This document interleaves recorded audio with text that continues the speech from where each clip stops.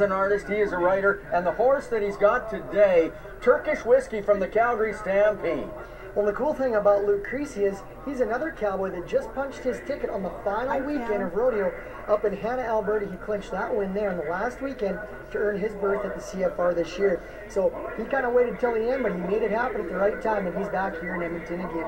And of course, part of the reason for that, he spent a lot of time down south trying to make the national finals rodeo. Just missed the Wrangler NFR this year. But I'll tell you what, Turkish Whiskey is the horse, and I really like this matchup. This is a great Calgary bucket horse, Canadian and national in 2014. Now, what's happening right now? He's wedging that hand into that suitcase handle like bareback rigging, getting ready. This is an event that really, really tests the physical.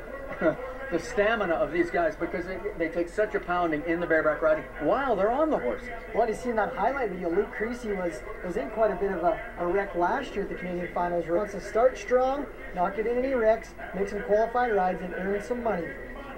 Well, you know, and I think that this year I, I saw him make more good rides than maybe he ever has in the past, and he's been very self-timed. All right, Lucas, just about ready. When he nods, the action will be underway, and he will be underway on Turkish Whiskey. Calgary Stampede horse right now. All right, that horse turns out. Watch him go to work right here. There's that spur like we talked about. Bring those dull wild spurs up the neck to the handhold. Nicely done. Good start right there for Luke Creasy and Turkish Whiskey. And we sit him down. Our pickup men do the job right there. He is safely on the ground. Gary Rempel, of course, and Mr. Resch, our pickup man. Rempel, I think he's been here for about the last 75 years or so. That's a pretty darn good bareback ride. Oh, you bet you. Walk, watch Luke go now. It's all about beating the horse's feet to the ground with your feet. And he's making that spurs bring him right back. Just a nice looking ride for Luke Creasy to start his Canadian Finals rodeo effort.